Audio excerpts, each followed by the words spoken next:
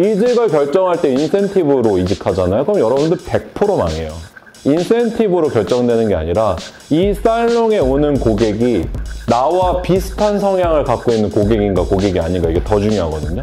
근데 그런 거, 상권, 뭐 예를 들어 고객의 층, 고객의 색깔, 이 고객들이 원하는 만족 이런 것들 고려 안 하고 그냥 인센티브 뭐더 많이 줄 테니까 우리 매장 오세요라고 넘어가면 100% 망해요. 우리가 다 왜 같은 생각을 해야 되고 같은 걸 배워야 되고 같은 목표를 세워야 되고 같은 방향을 보고 가야 되냐는 거죠. 저는 이런 거 자체가 굉장히 잘못됐다라고 느끼면서 철학을 이제 공부를 하게 됐어요.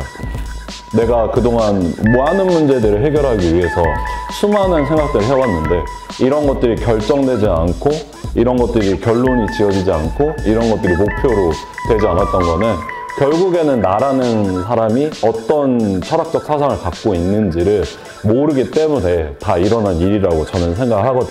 결국에는 인간이 원하는 거는 우리가 규정한 것들이 아니라 좀 더 본질적인 영역에서의 만족과 행복을 원한다는 거예요.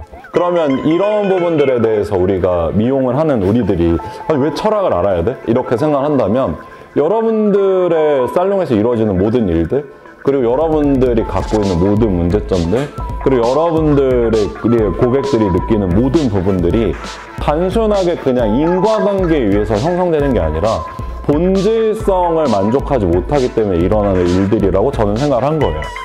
사람들이 원하는 게 있다면 그 원하는 부분의 본질성을 찾아주자. 그게 저희의 목표가 되는 거거든요.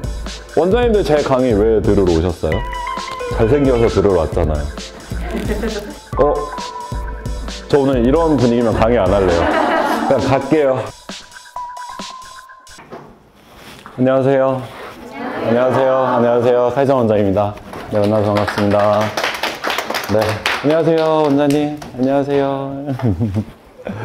어, 리더의 철학 강의고요. 오늘, 오늘 강의 같이 저희 한 3시간 정도 진행할 건데, 함께 모여주신 원장님들 다 너무 감사하고, 어, 모든 원장님들이 다 감사하지만, 제가 또 오늘 감사함을 표현하고 싶은 원장님이 한 분 계셔서 작은 선물을 마련을 했습니다. 우리 로빈 원장님. 네. 저랑 오늘 마음이 통하셨어요. 커피 감사합니다. 네, 여기. 아, 우리 로빈 원장님은 경영교육 때 제가 처음 뵀죠. 경영교육 때 처음 뵀는데 교육이 끝나고 저한테 에이솝 hand wash를 선물을 해주셨어요. 카카오 그거 상품 그런 걸로 기프티콘으로. 근데 그 제가 이렇게 선물을 받았을 때 물론 에이솝 너무 좋죠. 저도 너무 좋아합니다. 근데 원장님의 그 마음이 너무 따뜻한 거예요. 아, 나를 위해서 남자한테 hand wash 선물해주는 남자가 세상에 어딨어. 아, 이렇게 너무 따뜻한, 혹시 내 손이 좀 지저분해 보여지진 않았을 테고. 아, 이런 따뜻한 마음을 받는 게 너무 기쁘다. 그래서 또 한 하루를 되게 행복하게 마무리를 했구나. 이런 생각을 하게 되면서 마무리하게 돼서 그 좋았던 감정이 아직까지도 계속 남아 있어요. 그래서 아, 제가 행복하게 사는데 일조해 주신 우리 로빈 원장님께 감사의 의미로 책 한 권 선물해 드렸습니다. 감사합니다. 네. 자 그러면 지금부터 이제 본격적으로 안녕하세요 철학 강의 진행을 해보도록 할 텐데 리더의 철학이고요 자 철학 강의입니다 사실 철학 강의를 진행한 지는 한 3개월 정도 됐는데 제가 철학이라는 거를 공부한 지는 한 본격적으로 공부한 지는 한 2년 정도 된 것 같아요. 그랬을 때게 많은 분들이 저한테 그렇게 얘기하시더라고요. 제가 여러분들 아시다시피 뭐 경영 교육도 하고 마케팅 교육도 하고 세일즈 교육도 하고 뭐 살롱 컨설팅도 하고 그리고 커트도 가리키고 스타일링도 가리키고 컬러도 가리키고 펌도 가리키고 뭐 미용도 가리키고 연애도 가리키거든요 요새는 우리가 많이 알고 있는 그 고대 철학자인 아리스토텔레스라는 사람 철학가라는 거 여러분 들 알고 계시죠? 근데 그 사람의 또 다른 직업은 뭔지 아세요? 예술가예요. 그 사람의 또 다른 이름은 뭔지 아세요? 수학가예요. 그 사람의 또 다른 이름은 뭔지 아세요? 수많은 타이틀들을 가지고 있어요. 그리고 여러분들이 많이 하시는 뭐 니체, 프로이드, 융, 칼류 이런 사람들 보면은 다 철학가이면서 여러 가지 일들을 한 사람이거든요. 그 저희가 그 레오나르도 다빈치라 그러면 뭘로 기억하세요? 그 옛날에 왜 교과서에서 봤던 그 팔 막 여러 개 달린 그것들을 생각하잖아요. 그 사람도 철학가예요. 그 사람도 철학가인데 수학자이며 미술가이며 예술가이며 철학가거든요. 저는 그냥 한 명의 사람으로서 미용도 할 수 있고 경영도 할 수 있고 마케팅도 할 수 있고 세일즈도 할 수 있고 때로는 연애 상담도 할 수 있고 때로는 좋은 사람일 수도 있고 그냥 나라는 사람은 정에 규정돼 있지 않다. 근데 내가 제일 잘하는 건 철학이다. 왜냐? 내 삶을 내가 어떤 목표를 살아가는지를 가장 중요하게 생각하고 어떤 가치와 어떤 목표를 보고 어떤 기준을 잡고 살아갈지를 내가 가장 잘하기 때문에 나는 카이정이라는 철학으로 여러 가지 일을 하는 사람이다. 그래서 나는 개의치 않다. 사람들이 뭐 예를 들어서 얘는 도대체 뭐 사스는 하는 사람이야, 뭐 스타일링을 하는 사람이야, 컬러를 하는 사람 이런 거 물어볼 때 개의치 않다. 남들의 시선이 뭐가 중요하냐.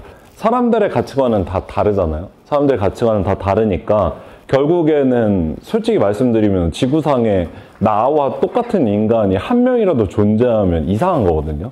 나라는 사람은 지구상에 딱 한 명밖에 존재할 수 없고 그리고 수많은 철학가들이 그렇게 얘기했거든요. 인간이 그러면 이 각기 다른 인간이 어디서 왔냐면 영혼의 세계 이데아에서 왔다. 이런 식으로 얘기를 했거든요.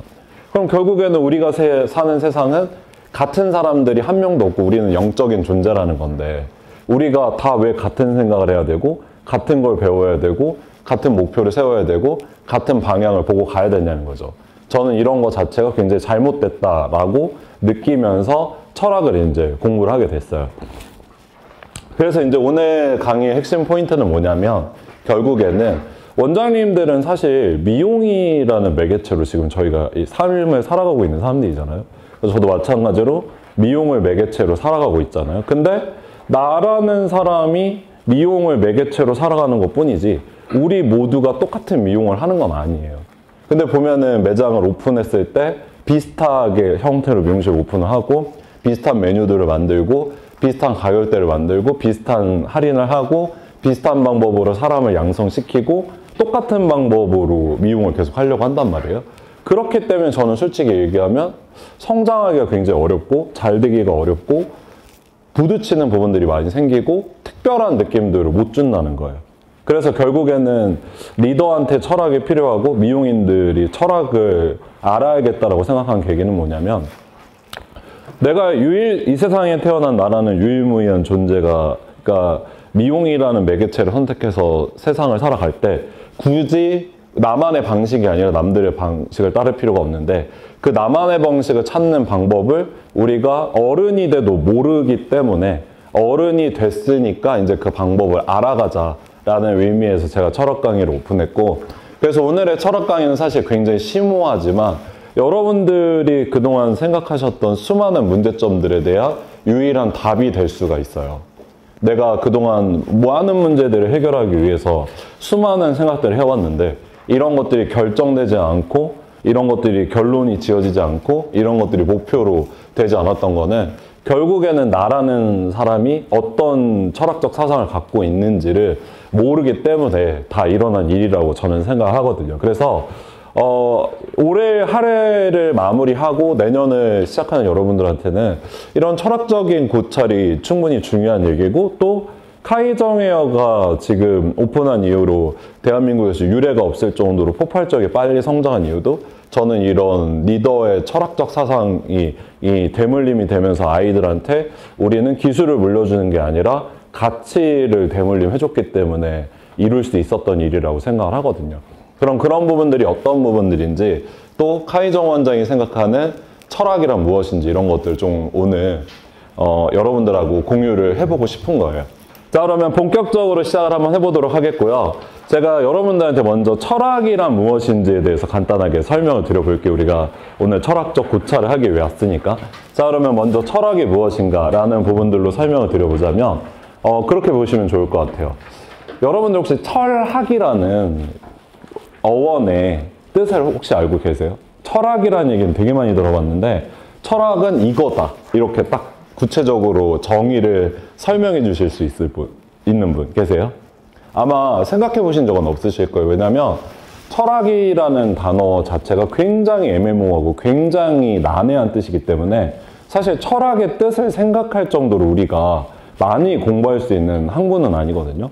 근데 여러분들도 아시다시피 철학이라는 거는 기원전부터 유래를 했고 대하, 지금 대한민국을 떠나서 전 세계에서 가장 오래된 학문이고 가장 오랫동안 연구된 학문이고 기원전 때 연구했던 그 가치가 현대까지 내려오는 유일한 학문이에요. 예를 들어서 저희가 의학을 생각을 해봅시다. 옛날에 왜 중세시대 때 이런 유튜브 보신 적 있으세요? 중세시대 의학 막 이런 거 보신 적 있으세요? 없으시죠? 그 프랑스의 왕 루이가 악마를 쫓아내고자 이빨을 뽑다가 입천장이 떨어져서 음식을 못 먹다 죽었다 이런 것들이 다 그때의 의학 수준을 보여주는 거거든요. 뭐라 그래요? 막 사람들, 죽은 사람들을 막 살릴 수 있다. 옛날 사람들 막 이렇게 믿었고, 그리고 사람들한테 발생되는 문제들이 엄청나게 많았는데, 사람을 살리려다가 죽은 사람들이 더 많을 정도로 의학의 수준이 굉장히 떨어졌다는 게 우리가 알고 있는 중세시대나 과거의 의학이거든요. 그럼 지금의 의학은 어때요? 지금은 정말 난치라고 불리는 병들이 다 치료될 정도로 굉장히 많이 발전돼 있고 기존에 우리가 생각했던 발견하지 못했던 엄청나게 많은 것들을 발견하면서 폭발적으로 발전을 해왔죠. 그러면 대표적으로 그런 게 있어요. 옛날에는 막 그 옛날에 이제 미국이랑 러시아가 지금 굉장히 문제를 일으켰던 게 어떤 거냐면 핵 폭발 실험 이런 거 막 하면서 방사능이 뭔지 몰라서 핵폭탄 터지는 거 막 구경하고 이러다 갑자기 3개월, 4개월 뒤에 갑자기 암 걸려서 죽고 이런 일들이 인간도 모르는 미지의 세계를 경험을 못 해봤기 때문에 다 일어났던 문제인데 지금은 그런 것들을 다 인간들이 인지를 하고 있잖아요. 그러면 의학도 굉장히 오랜 시간 동안 발전을 해오면서 굉장히 많이 변했고 우리가 많이 하는 법, 법들도 많이 변했고 사회, 세계가 운영되는 그런 뭐 경제학 이런 부분들이 굉장히 오래전서부터 시작이 됐지만 그리스라는 나라부터 시작이 됐지만 결국에는 시대가 계속 지나오면서 수많은 역병과 인간의 진화를 거쳐서 변모해 왔단 말이에요. 그러면 이런 학문들의 특징은 뭐냐면 인간을 고통에서 해방시켜주는 학문이에요. 고통에서 해방시켜주는 학문. 예를 들어서 인간들이 지금 다 만들, 우리가 인간들이죠. 인간들이라고 하니까 좀 약간 부정적인 것 같은데 사람들이 지금 하는 이 모든 삶은 저희가 고통에서 해방되기 위한 룰들로 다 이루어져 있는 거예요. 남의 재산을 뺏지 말라, 사람을 때리지 말라, 죽이지 말라 이런 모든 법들이 어떻게 보면은 지금 사는 현대 인간들이 느끼는 문제점들이 아니라 굉장히 오래전 과거부터 느꼈던 인간 본질의 문제점들을 해결해 주기 위해서 발전된 학문들이 의학, 법학, 경제학 이런 것들이라는 거죠. 농업, 대표적으로 농학 이런 것들. 그러면 미용은 어떨까요? 미용. 미용은 어떨까요? 미용은 어떤 학문일까요? 그때 옛날에 중세시대 그보다 더 오랜 시절에도 미용이 존재했을까요? 존재하지 않았을까요? 존재했어요. 왜 존재했을까요? 우리 많이 아는 그 클레오파트라라는 여왕 있죠. 예전에 아름다워 보이기 위해서 뭐 했다고 해요? 뭐 했다고 그래요? 머릿결이 좋아 보이기 위해서 오일을 바르고 뭐 목욕을 하고 이런 것들 했죠. 여러분들 많이 하시는 그 중국의 황후가 한 명 있는데 그 황후는 어떻게 했다 그랬어요? 젊어지기 위해서 어린 처녀들의 피를 뽑아갖고 목욕을 하고 막 이랬다고 하잖아요. 미용. 젊어 보이고 아름다워 보이고. 그럼 이 미용이라는 것도 최근에 우리가 관심을 갖고서 발전되어 온 걸까요? 아니면 아주 오랜 시간부터 계속 발전되고 있었던 걸까요? 저는 아주 오래전서부터 이 미용이 발전돼 왔다고 생각해요. 그러면 사람들은 사실 그렇게 생각해요. 미용은 약간 그런 부를 갖고 있는 사람들이 사용하는 거 아니야? 약간 이렇게 생각을 많이 하거든요. 되게 특수성을 많이 갖고 있고 현대에 와서 많이 발전을 했고 과거에는 그렇게 필요 없었는데 지금에 와서 필수가 된 거 아니야? 이렇게 생각을 하는데 저는 그렇게 보지 않는 거죠. 그때는 예전에 과거에는 부를 갖고 있고 그런 어떠한 명예를 갖고 있는 사람들이 전유물이었다면 지금은 그냥 대중적으로 많이 누릴 수 있다라는 대상이 바뀐 것 뿐이지 인간 본질로 왔을 때 이게 먹을 게 안정화가 되고 삶이 안정화가 되면 아름다워지고 싶다는 욕구는 그냥 인간이 갖고 있는 본성이니까 자연스럽게 보여지는 본질이라고 저는 생각을 한단 말이에요. 그러면 철학이라는 뜻이 무엇이고 이런 것들을 왜 설명을 드리냐면 철학이라는 뜻은 그거예요. 그 필로소피아라는 건데 이게 지혜에 대한 사랑이에요. 말 그대로 지혜를 탐구해서 본질을 깨닫게 하는 게 철학이거든요. 그렇기 때문에 연구하고 끊임없이 연구하고 끊임없이 노력하면서 내가 어떤 방향으로 무엇을 만들어 가야 되는가, 기준을 정해야 되는가, 목표를 만들어야 되는가, 이런 것들을 다 아우르는 게 철학이란 말이에요. 그래서 수학자들이나 예술가들이 철학이 필요했던 거예요. 생각해 보세요. 아름다움이라는 건 주관적이에요? 객관적이에요? 주관적이죠. 주관적이에요. 그게 본질성이에요. 자, 제가 지금 철학을 표현하자면 이렇게 철학들을 설명해 드릴 수 있을 것 같아요. 물이죠. 그럼 이걸 물을 물이라고 하면 물이 될까요? 이게 철학이에요. 지금 여러분들 앞에 놓여 있는 이게 물이잖아요. 이게 물을 물이라고 규정하는 순간 물이 될 수 있을까요? 이게 철학인 거예요. 왜요? 이 물이 갖고 있는 본질이 과연 물일까요? 여러 가지 본질을 갖고 있는데 인간이 규정한 건 물이 맞거든요. 근데 여러 가지 본질이 있는데 인간이 규정한 건 물이에요. 인간이 규정한 이 물의 특성은 뭐예요? 마실 수 있다. 목욕할 수 있다. 우리의 삶을 풍요롭게 해준다. 이런 것들이 물이잖아요. 그래서 깨끗한 물을 원하잖아요. 지저분한 물을 별로 안 좋아하잖아요. 근데 원래 이 물의 본질은 마시고 씻고 인간이 사용하는 그런 생업의 역할만 하는 것 뿐만 아니라 원래 본질은 어떤 사람들은 이 물을 보고 외로움을 느끼기도 하고요. 어떤 사람들은 이 물을 보고 행복감을 느끼기도 하고요. 어떤 사람들은 이 물을 보면서 아름다움을 느끼기도 해요. 그러면 이 물의 본질은 마시고 먹고 쓰고 이런 게 아니라 본래 인간이 느끼는 모든 감정들을 다 아우를 수 있는 본질성을 갖고 있다는 거죠. 그래서 철학자들이 이런 거를 왜 중요하게 생각했냐면 그거예요. 우리는 미용을 하면서 사람을 아름답게 만들어준다는 기준으로 일을 하잖아요. 그럼 우리가 생각했을 때 헤어 디자이너 역할은 머리를 아름답게 해주는 게 이 사람한테 아름다움을 준다고 생각하지만 이거는 인간이 규정한 거기 때문에 이렇게 규정을 하는 순간 본질성을 잃어버리게 되고 더 본질로서 들어간다면 이 사람의 삶의 만족, 이 사람의 삶의 행복, 그리고 나의 행복 이런 것들을 모두 다 아우릴 수 있는 게 미용이라는 거에 대한 본질인 거고 그 안에서 고객과의 나의 관계식을 형성하는 것도 어떻게 보면은 미용의 특수성일 수도 있거든요. 본질성 특성.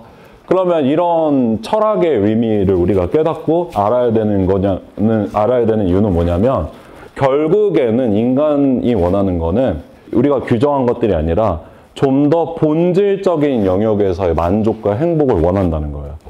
그래서 우리가 우리가 원하는 것들을 이루기 위해서는 이러한 본질들을 정확하게 이해하고 정확하게 깨닫고 본질의 특성을 이해하려고 하는 가치관을 갖는 게 굉장히 중요하고 그렇기 때문에 수학자들이 이런 철학에 대한 사상들을 굉장히 중요하게 생각한 거예요. 그러면 이런 부분들에 대해서 우리가 미용을 하는 우리들이 왜 철학을 알아야 돼? 이렇게 생각한다면 여러분들의 살롱에서 이루어지는 모든 일들 그리고 여러분들이 갖고 있는 모든 문제점들, 그리고 여러분들의 고객들이 느끼는 모든 부분들이 단순하게 그냥 인과관계에 의해서 형성되는 게 아니라 본질성을 만족하지 못하기 때문에 일어나는 일들이라고 저는 생각을 한 거예요. 그래서 카이정 헤어가 다른 브랜드나 다른 살롱들이랑 다른 거, 그리고 카이정 원장이 다른 부분 중에 하나가 사람들이 원하는 게 있다면 그 원하는 부분의 본질성을 찾아주자. 그게 저희의 목표가 되는 거거든요. 예를 들어서 고객들이 어떠한 사진 한 장을 갖고 와서 저 이 사진처럼 머리 하고 싶어요 라고 그 사진을 드밀었을 때 그냥 그 똑같은 스타일을 해주는 게 아니라 이 사진을 왜 갖고 왔는지 어떤 부분에 대해서 마음에 들었는지 그렇다면 더 만족하게 해줄 수 있는 방법은 없는지 이러한 부분들을 고민하면서 저희가 브랜드가 성장해 나간 거예요. 저희 매장에 직원들이 들어왔다면 성장하고 싶어요. 이렇게 들어오잖아요. 디자이너들이. 그럼 네가 원하는 성장이 무엇인지 스스로 생각하고 스스로 믿고 스스로 행동하고 스스로 결정했다고 생각하게 했기 때문에 지치지 않고 끊임없이 계속 나아갈 수 있는 거거든요. 그래서 이거를 아리스토텔레스가 뭐라고 얘기했냐면 이렇게 얘기를 했어요. 인간은 논리만으로 움직이지 않는다.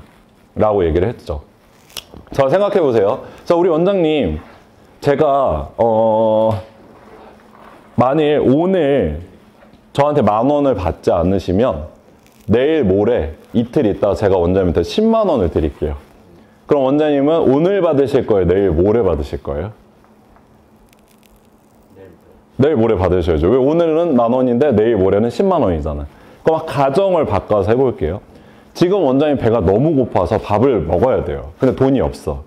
밥 먹을 돈이 없어요. 근데 정말 3일을 굴고 왔어요.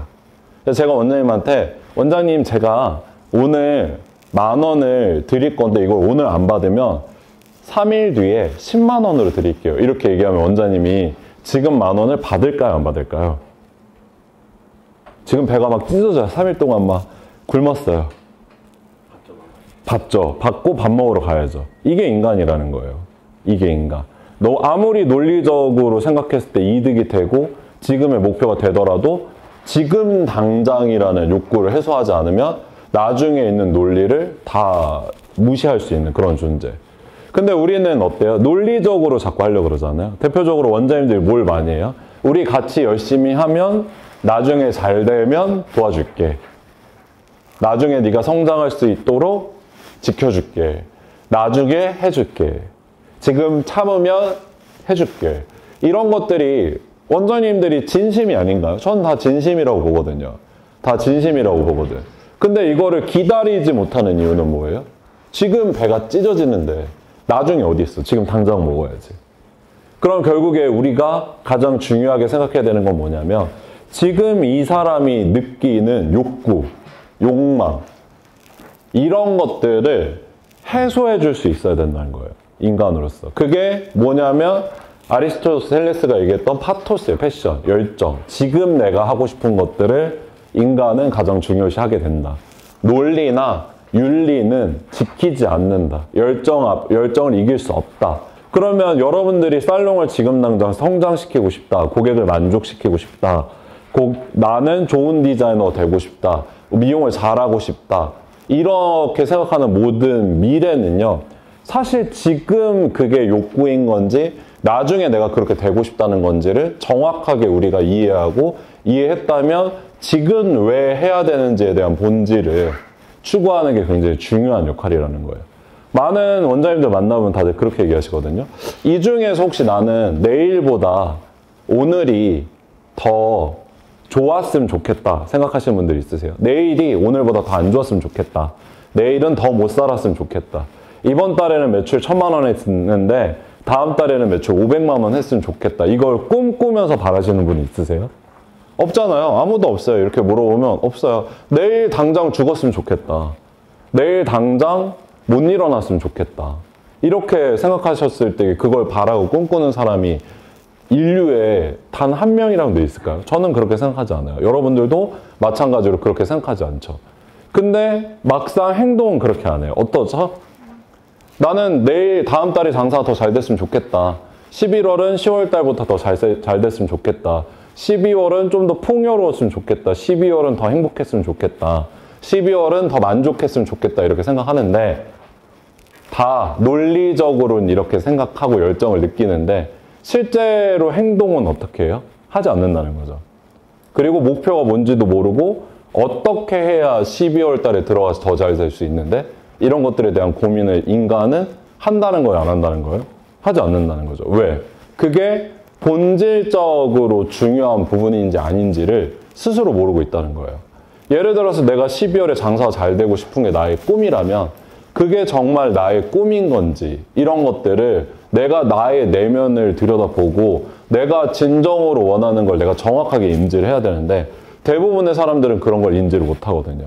대표적으로 막 그런 게 있어요. 원장님들 너무 갖고 싶은 거 사면 어때요? 좋죠. 딱 쇼핑백에 당겨서 딱 나올 때 좋죠. 근데 막상 쇼핑백에 딱 꺼내서 두 번, 세 번을 써요. 그럼 그때도 너무 좋으세요. 처음 샀을 때처럼. 아니죠. 그리고 한 달이 지나면 어때요? 아, 이거 생각보다 별론데? 그냥 그저 그런데? 이렇잖아요. 내 매장 너무 갖고 싶어서 매장 딱 오픈했어. 처음에 막 인테리어 막 하고 막 오픈하기 전에 너무 좋아. 근데 한 달 지나면 어때요? 똑같네, 전에 매장이랑. 똑같네, 이렇게 느끼잖아요. 그럼 그런 것들이 잘못된 거라는 거예요, 저는. 그런 것들이. 그거는 원장님들이 진정으로 원했던 게 아니라는 거예요, 그랬다면. 왜냐면 내가 정말 간절히 원했고 그 목표를 이뤘다면 그런 사람들이 정확하게 설정한 내가 무엇을 꿈꾸고 무엇을 목표로 했는지 아는 사람은 내가 원하는 나의 삶을 이루는 그 순간 다음에 무슨 액션을 할까요? 다음에 원하는 것들, 다음에 할 수 있는 것들, 다음에 목표를 바로 찾아서 해요. 근데 만약에 그게 아 이거 별론데 생각보다 생각보다 효과 없었는데 이런 식으로 규정이 된다면 그거는 나 스스로가 나란 존재가 어떤 존재인지 해답을 못 찾고 있다는 거죠. 그래서 그렇게 생각하셔야 돼요. 우리는 논리적으로 절대 생각하지 않고요. 우리는 그냥 열정으로 살아가는 사람이에요. 이 열정이 뭐예요? 내가 원하는 것들. 그렇기 때문에 여러분들이 살롱을 성장시키고 미용업을 성장시키고 내가 리더로서 나의 삶을 살아가고 싶다면 나란 사람이 어떤 존재인지 그리고 내가 진정으로 원하는 게 무엇인지를 정확하게 알고 있어야 돼요. 그래서 여러분들의 살롱이 성장을 못하는 거예요. 대부분의 디자이너들이 그렇거든요. 매출 1,500만 하는 거 신입 디자이너들 꿈꿔요? 꿈꾸지 않아요? 꿈꿔요. 근데 막상 1,500 하면 어때요? 기쁘죠. 그럼 두 달, 세 달 매출 계속 하다 보면 갑자기 뭐라 그래요? 원장님 저 쉬고 싶어요. 이렇게 얘기하거든요. 야, 너 지금 매출해야 되는데, 야, 인제 1,500 되는데 지금 쉰다고? 여태까지 6일 근무해갖고 1,500 3개월 동안 만들었는데, 5일 근무 하겠다고? 야, 너 매출 떨어져. 이렇게 얘기하면 애들 뭐라 그래요? 근데 저 갑자기 일이 재미없어요. 모르겠어요. 힘들어요. 이렇게 얘기하거든요. 그럼 그렇다면 누가 잘못한 거예요? 리더들이 잘못한 거예요, 리더들이. 함께 우리가 사회에서 만들어가는 모든 꿈은 함께 만드는 거거든요. 근데 미용실 안에서 만들어지는 모든 꿈은 디자이너의 꿈이 아니에요. 우리의 꿈이지. 그럼 우리가 그들이 원하는 걸 정확하게 찾아주지 못했고 그들은 본인이 원하는 거를 정확하게 알지 못했던 거죠. 그럼 그런 매장은 성장 못해요. 성장 궤도에 다가갔을 때 디자이너들이 그렇게 생각하거든요. 아, 아 매출을 잘하는 게 결코 행복한 일이 아니구나. 이건 잘못된 거구나. 그럼 그 다음에 매출을 하기 위한 노력을 할까요? 안 할까요? 안 해요. 이미 맛봤거든. 그런 거 있잖아요. 원장님들 샤넬백 너무 사고 싶어서 샤넬 딱 샀는데 막상 사고 나니까 아니 이걸 왜 내가 천만 원씩이나 주고 샀지? 별로네. 하면 다음부터 또 살까요? 또 안 살까요? 또 안 사요. 근데 너무 간절하게 원해서 딱 샀으면 다음에 아 나 에르메스 이번에 사야겠다. 이러면 그게 본인이 원했던 게 맞다, 맞았다는 거죠. 그래서 우리가 사람들을 움직일 때는 그렇게 움직이면 안 돼요. 너 우리 매장에 오면 매출 얼마 하게끔 내가 해줄게. 돈 얼마 벌 수 있게끔 해줄게. 쉬면서 일할 수 있게끔 해줄게. 이거 되게 잘못된 거예요. 큰 실수를 하는 거예요. 내가 매장을 왜 해요? 자, 여기 리더분들 한번 손 들어 보실래요? 나 원장이다. 손 번쩍 드세요. 네. 나 원장이다. 네. 나 원장이다. 리더분들 매장을 왜 해요? 꿈을 이루기 위해서 하는 거잖아. 근데 내 매장을 오픈해 놓고 내 매장을 운영하면서 왜 착한 척 하냐 이거예요, 저는. 왜 남의 꿈을 이뤄주는 듯한 삶으로 사냐고, 결국에는 다 누구 꿈이에요? 이 원장님 내가 너무 우리 매장에서 일하는 디자이너야. 그럼 이 선생님이 너무 잘 됐으면 좋겠어. 이거 선생님 꿈이에요, 제 꿈이에요? 내 꿈이죠. 내 꿈이죠. 근데 왜 그걸 포장하냐는 거예요. 왜 그걸 어떻게 이론적으로 논리적으로 설명하면서 네가 왜 돈을 많이 벌면 기쁜지를 왜 설명하는 거냐는 거예요. 나의 꿈인데. 그러니까 결국에 이런 것들이 나중에 깨닫고 보면 어때요? 어, 이거 내 꿈 아니었구나. 이러는 순간 살롱이 붕괴되는 거죠. 그럼 여러분들이 살롱을 움직이고 디자이너 선생님들 그렇잖아요. 매장에서 일하면서 행복감이란 무엇일까? 나는 왜 미용을 할까? 나는 왜 열심히 인스타나 블로그를 하면서 고객한테 노력해야 될까? 이런 것들에 대한 답을 찾지 못하면 내가 움직일 수가 없는 거예요. 움직여야 되는데. 사람은 매료시켜서 이 사람이 원하는 걸 이루어주고 이 사람이 원하는 걸 찾아주고 내가 원하는 꿈을 이루면서 행복이라는 에너지로 움직이는 게 맞구나 라고 깨닫게 되신다는 거예요. 그게 매료시켜서 움직이는 방법이라는 거예요. 원장님들 제 강의 왜 들으러 오셨어요? 잘생겨서 들으러 왔잖아요. 어? 저 오늘 이런 분위기면 강의 안 할래요. 그냥 갈게요. 갈게요. 여기 누가 대신 강의 한 명만 해주세요. 유튜브 틀어드리면 될 것 같아요. 네, 유튜브 보시고 가시면 될 것 같아요. 전 안 할래요. 네. 그렇잖아요. 여러분들 왜 제 강의 들으러 오셨어요? 만족하려고 온 거예요? 철학 배우려고 온 거 아니에요. 제가 말씀드리는 거 철학이 무엇인지 알고 싶어서 온 게 아니고 어떻게 하면 리더들이 돈을 잘 벌 수 있는지 알고 싶어서 온 게 아니고 그냥 나 스스로 내가 원하는 만족을 얻기 위해서 돈과 시간을 써서 이 자리에 왔단 말이에요. 그런데 제가 철학만 알려주려고 해요. 제가. 근데 제가 성공한 방법만 알려주려고 해요. 그럼 만족이 될까요? 안 될까요? 안 돼요. 그럼 만족이 되는 강의는 뭘까요? 스스로 깨닫게 되는 거. 아, 내가 이래서 살롱을 했고, 아, 내가 이래서 애들한테 문제가 있었고, 아, 내가 이래서 우리 매장이 성장이 잘 안 됐었구나. 이거를 깨달으면 만족이 돼요, 안 돼요? 되죠. 그럼 저는 강의를 왜 해요? 돈 벌려고? 아니요. 돈은 이제 그렇게 솔직히 중요하지 않아요, 저한테. 그거는 좀 더 어렸을 때, 20대. 제가 지금 이제 내년, 내후년이면 이제 40살인데, 그거는 20대 초반 때 돈 벌려고 목숨 걸고서 일했던 거고 30대까지는 돈이 좀 중요했는데 지금 중반이 넘어가면서는 사실 돈 별로 중요하지 않아요.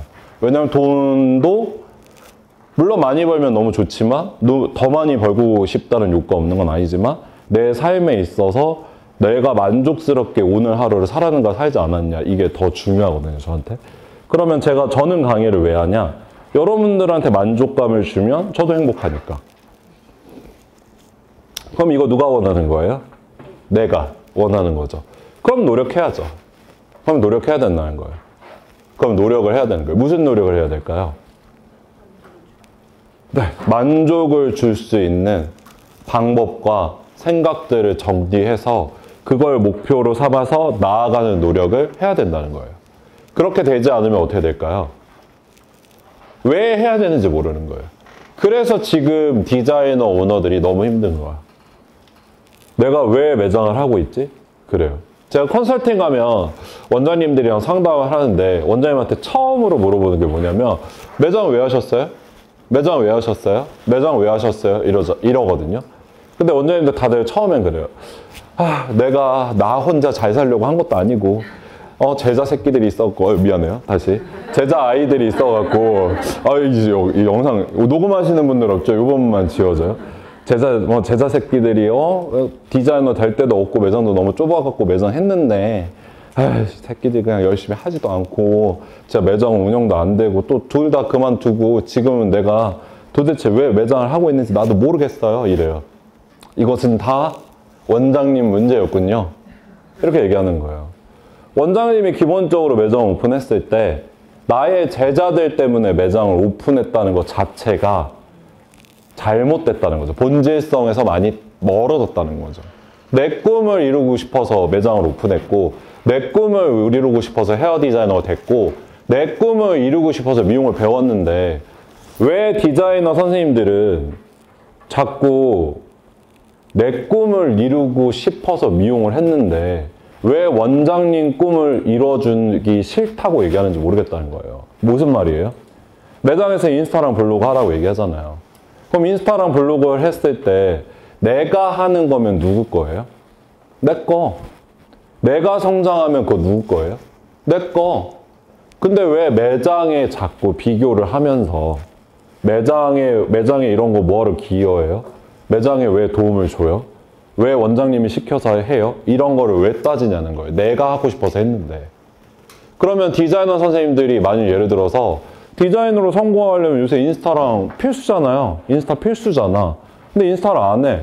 그래서 인스타 왜 안 하세요? 이렇게 물어봤을 때, 어, 저는 인스타 할 필요성을 못 느끼는데요. 라고 해서 왜요? 라고 얘기했을 때, 저는 인스타가 없어도 고객을 만족시킬 수 있고, 저는 인스타가 없어도 디자이너로서 가능성이 있고, 존재 이유가 명확해요. 이렇게 얘기하면, 저는 그게 너무 멋있지만, 어, 근데 그런 거 해봤자 뭐 매장만 도움되지. 뭐 내가 굳이 노력할 필요 있어? 제가 왜 굳이 매장 때문에 모델 work를 해요? 이렇게 얘기하면 그냥 아예 미용을 하지 말라는 거예요. 아예.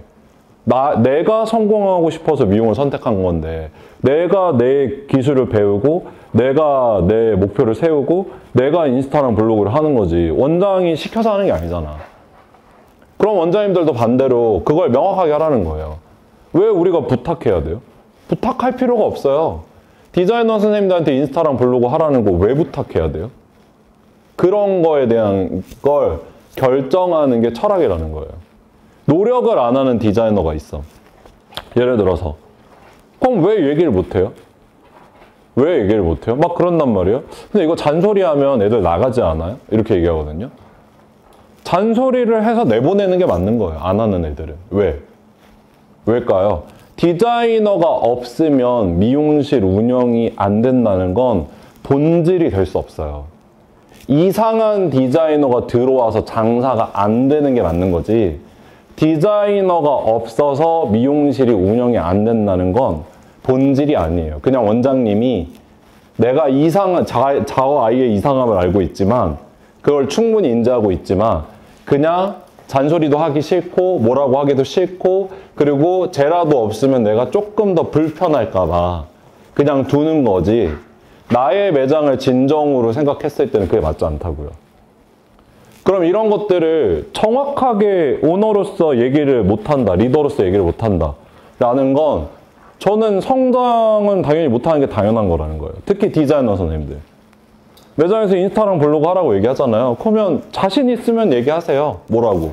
원장님 저 근데 인스타랑 블로그 없어도 충분히 고객들 만족시켜서 디자이너 생활하면서 고객을 쌓을 수 있다.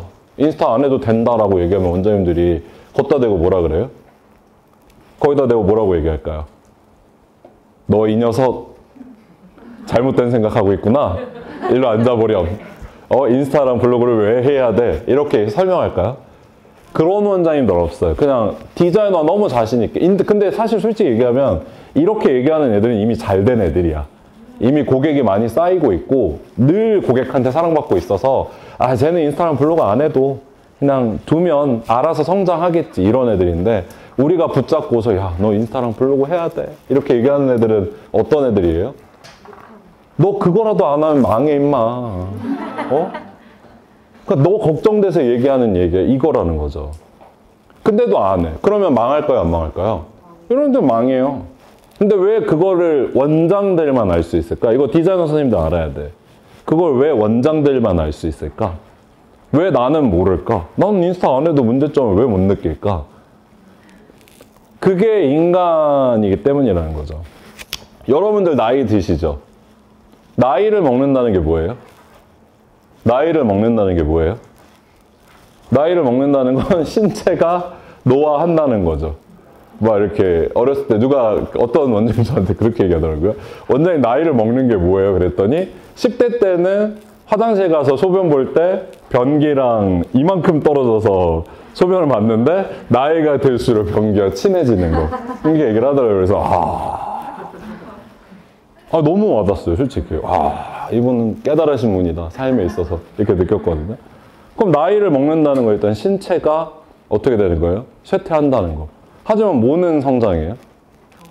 경험과 정신은 성장해요. 나이를 먹으면. 그래서 젊은 리더, 우리가 예를 들어 국가에 하는 리더를 뽑았을 때 너무 젊은 친구는 뽑지 않는 게 인간들이 알고 있는 그 보편적인 사상이잖아요. 그게 왜 그렇게 됐을까요? 경험 때문에 그런 거예요, 경험. 우리가 착각하는 게 있는데 뭐냐면, 미용은요, 그런 거예요. 기술을 배워요. 그러면 기술을 배워서 여기 선생님이 제, 제 만약 예를 들어 제자인데 1년 동안 제가 가르쳐서 기술을 다 배워서 카이존이랑 똑같은 기술을 갖고 디자이너가 됐어. 그러면 이 선생님이 할 줄 아는 테크닉이랑 이 선생님이 할 줄 아는 테크닉이 차이가 날까요? 나는 20년 차, 1년 차. 기술의 차이가 날까요? 우리가 빗을 들고 핀을 들고 가위로 머리를 자르는데 이 선생님은 빗을 들고 핀을 쓰고 가위로 머리를 자르는데 저는 막 손가락으로 머리를 잘라요? 20년 되면? 아니죠. 불가능하잖아. 어떻게 머리 자를 수 있어요? 똑같아요. 뭐 이 선생님은 뭐 line graduation layer로 머리를 자르는데 나는 막 뭐 나만의 막 우주의 영감을 받아갖고 막 새로운 테크닉을 만들어서 막 잘라요? 아니잖아. 똑같아요. 원천은 똑같아. 원천은. 근데 우리가 명장이라고 부르는 사람들은 뭐예요? 예를 들어 자동차 명장. 딱 지나가다가 소리 듣고 야 이거 여기 고장났어 고쳐. 이러면 주자 까봤는데 막 세고 있어. 오, 뭐야? 이거 뭐임? 이러잖아요. 나이를 먹는다는 건 이런 거예요. 지식은 똑같아요. 20살짜리 애들이나 40살짜리 오너나 지식은 똑같아. 할 줄 아는 건 똑같아. 20살짜리 아이들이 마케팅 하는 거나 우리가 마케팅 하는 거랑 똑같아요. 뭐 우리는 뭐 인스타랑 뭐 블로그를 막 뭐 약간 뭐 새로운 영감을 막 받아갖고 써요? 아니잖아. 아이폰이냐 갤럭시냐 그 차이지. 예? 그래서 아이폰 샀다고요, 저도. 네, 갤럭시를 10년 넘게 쓰다가 도저히 강의를 계속하는 다들 아이폰 딱 안 꺼내들면 아, 원장님 진짜 하, 이렇게 얘기하길래 샀다고요, 아이폰. 아이폰 있다고, 나도 있다고. 어? 그러면 기술에, 기술이 뭐가 있고 없고 때문에 경험이 쌓여서 어른이 됐다는 게 아니라 결국에는 뭐가 차이가 나서 어른이다, 어른이 아니다라고 결정이 되는 거예요? 경험치예요. 경험치. 경험치. 겪었잖아. 겪었잖아. 우리는 계속 겪잖아요.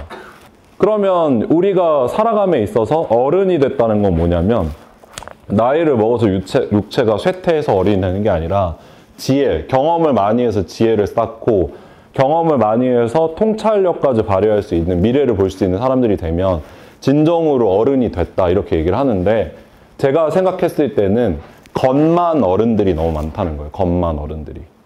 리더들. 특히 디자이너 선생님들. 생각해봐요. 자, 디자이너랑 실장이랑 차이가 뭐예요? 기술이 차이 나요? 아니요, 저희가 봤을 때 기술의 차이 한 10%날 수 있을 것 같아요. 경험의 차이는 몇 프로 날까? 90% 차이죠. 이렇게 바뀌죠.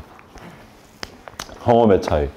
그러면 제가 이 얘기를 왜 하냐면, 자, 디자이너와 오너. 우리가 디자이너로 성공하면 매장을 오픈하잖아요. 그럼 디자이너 때는 경험이 예를 들어 경험과 지혜가 100%라고 치자. 그러면 오너로 넘어갔을 때 이게 몇 프로나 발휘될까요? 0%로 시작하는 거예요, 0%. 0%. 그러면 내가 예를 들어서 디자이너 때는 논리적으로 이랬다고 쳐요. 논리적으로. 아, 고객님 모질은 손상됐고, 그래서 이런 테크닉으로 펌이 들어가야 되고, 이런 펌을 해야 예쁘다. layer를 이렇게 내야 예쁘다. 이렇게 얘기해서 사람을 다뤘어. 그럼 리더가 되고 나서 사람을 다루는 건 어떻게 돼야 돼요? 리더가 돼, 돼서 사람을 다루는 건 어떻게 돼야 돼? 디자이너 때 어떤 디자이너들이 가장 존경받아요? 매출 잘하고 머리 잘하는 디자이너. 고객한테 사랑받는 디자이너. 인턴들 너무 좋아하고 동료들 너무 부러워하거든요. 그럼 리더는? 리더가 됐을 때는 똑같이 머리를 잘하고 돈을 많이 벌고 고객한테 사랑받으면 리더가 될까요? 아니죠. 사람들이 리더한테 원하는 건 뭘까요? 그쵸. 나를 성장시켜주는 사람. 근데 어떤 원장님들이 그래요. 우리가 디자이너를 왜 성장시켜? 지들이 성장해야지. 그럼 잘못된 거예요? 잘 된 거예요? 잘못된 거라는 거예요.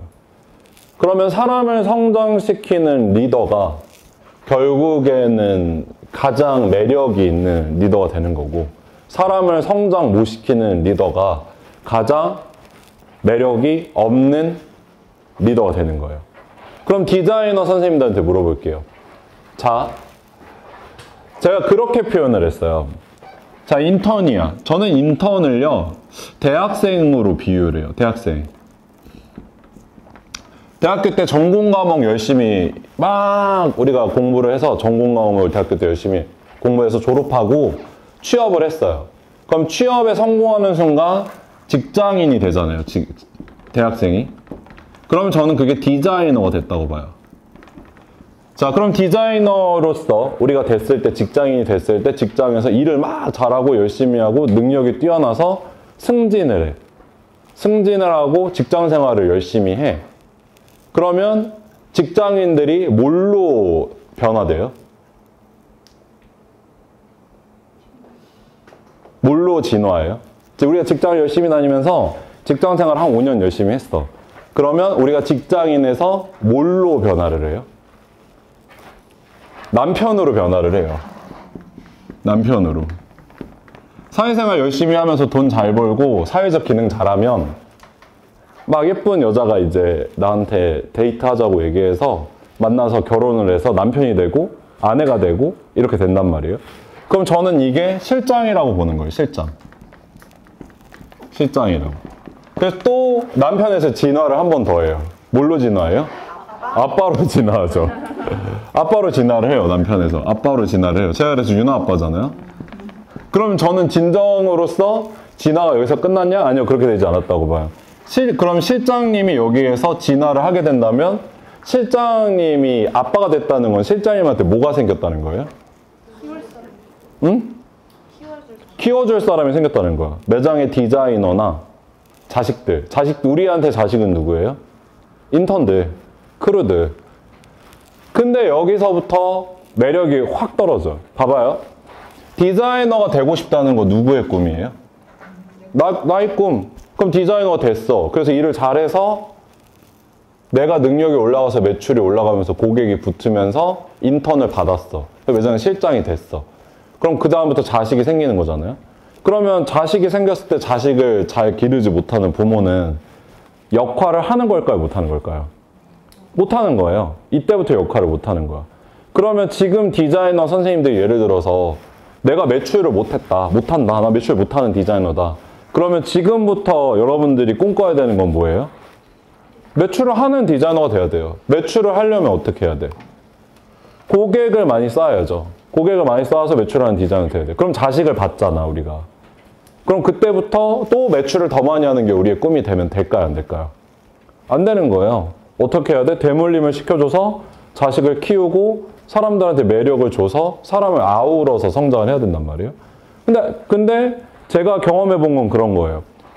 5년차, 10년차 디자이너인데 매출 2천만 원, 3천만 원 해야 되는데 맨날 미용이 너무 힘들대. 뭘 목표로 삼아야 될지 모르겠대. 돈을 더 벌어야 될까? 아닌데 돈 더 버는 것도 관심 없는데 아 내가 매장을 운영하고 싶은 거구나. 갑자기 그래서 매장 오픈하고 싶다 매장 오픈해요. 근데 매장 오픈하고 났더니 이게 내가 원하는 게 아니래. 이런 것들이 왜 이루어질까요? 이 중간에 사람을 키우는 작업이 없어져서 그런 거예요. 사람을 키우는 작업이. 여러분들이 매장 오픈했을 때 내 자식 없이 오픈하면 행복할까요? 행복하지 않을까요? 행복하지 않아요. 그냥 혼자서 고군부터 해야 돼. 그게 무슨 얼마나 행복하겠어. 근데 대물림 시켜줄 자식이 있고 나를 따르는 고객들이 있으면 행복하단 말이야. 그럼 이게 우리가 인간으로서의 삶을 사는 거나 미용인으로서 삶을 사는 게 똑같거든요.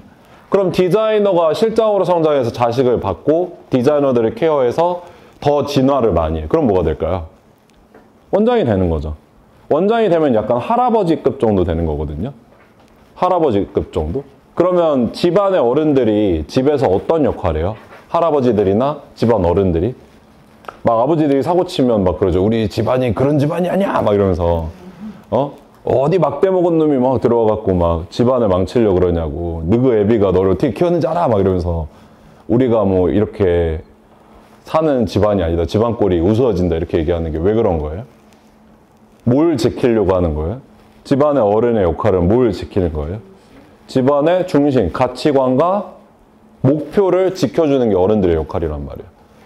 근데 막 할아버지가 자식들한테 막 사랑받고 싶어 하고 손주들한테 사랑받고 싶어 하고 손주가 자기랑 안 놀아준다고 막 힘들어해. 그럼 될까요? 안 될까요? 안 되죠. 안 되죠. 그런 거예요. 근데 원장님들 중에 그런 분들 되게 많아요. 매장에서 직원들한테 예쁨 못 받아서 힘들다. 우리 애들은 나랑 같이 밥을 안 먹으려고 그런다. 우리 애들은 나 빼고, 나 빼고 회식한다. 이런 거. 되게 힘들어 하시는 분들 많거든요. 전혀 매력 없어요. 이런 분들. 어른으로서의 역할이 뭔지 모르는 거지. 그럼 결국에는 중요한 건 뭐냐면 철학이 필요하고 철학을 배우고 철학을 알아가야 되는 건 내가 순간순간 나의 인생에서 타이밍이 왔을 때 그 다음 목표가 뭔지 인간은 계속 바뀌어요. 인턴의 목표는 디자이너가 되는 거고 디자이너의 목표는 고객을 많이 쌓는 디자이너가 되는 거고 고객을 많이 쌓는 디자이너 됐을 때는 자식들을 많이 데리고 있는 디자이너 되는 거고 자식들을 많이 데리고 있는 디자이너 됐으면 리더로서 이들을 나의 가치관으로 키우고 싶은 게 당연해지는 거란 말이에요. 근데 계속 돈, 돈, 돈, 돈, 돈 이러면 될까요? 안 될까요? 안 돼요. 살아남을 수가 없어. 그래서 매력적이지 않은 사람들의 특징은 뭐냐면 몰라. 본인의 목표가 뭔지 몰라. 그러니까 사람을 움직이는 힘도 떨어질 수밖에 없는 거죠. 리더라면 돈으로 사람을 움직여야 될까요? 조건으로 사람을 움직여야 될까요? 아니면 가치관으로 사람을 움직여야 될까요? 가치관으로 움직여야 돼요. 근데 내가 이 살롱을 오픈했는데 이 살롱에서 내가 일을 하는데 이 살롱의 목표와 가치와 기준이 무엇인지 모른다. 그럼 당연히 성장을 못하는 거죠. 디자이너 선생님들한테 제가 물어볼게요. 본인들이 일하는 살롱의 핵심 가치가 무엇인지 저한테 지금 바로 알려주실 수 있는 분이 있어요? 지금 바로? 카이정 헤어의 핵심 가치. 주희 선생님, 카이정 헤어의 핵심 가치 뭐예요? 맞아요. 저렇게 나와야 돼요. 인간 성장. 네. 여러분들 매장에 가서 물어보세요. 오너 선생님들. 오너분들 물어보세요. 내가 매장에 가서 자, 우리 살롱의 핵심 가치 뭐예요? 그랬을 때 인간 성장입니다. 고객에 대한 만족입니다. 이런 게 모두가 똑같은 목소리로 한 번에 나오지 않으면 여러분들은 매력 없는 리더예요. 그리고 지금 여기 계신 디자이너 선생님들 이거 대답 못 하잖아요. 그럼 여러분들이 문제예요? 리더들이 문제예요? 리더들이 문제인 거예요. 리더들이. 그럼 그 리더가 꼭 원장일 필요가 있을까요? 없을까요? 없어요. 없어요. 왜 디자이너는 리더 되면 안 돼요? 리더란 무엇이에요? 자기의 인생을 목표를 본인 스스로 설정하고 본인의 목표를 달성하기 위해서 가장 열성적으로 사는 사람들이 리더거든요. 그럼 내가 원장이 아니면 리더가 아닌가? 아니요. 그런, 그런 다른 거죠. 원장은 오너이고요. 원장이 리더일 필요는 없어요.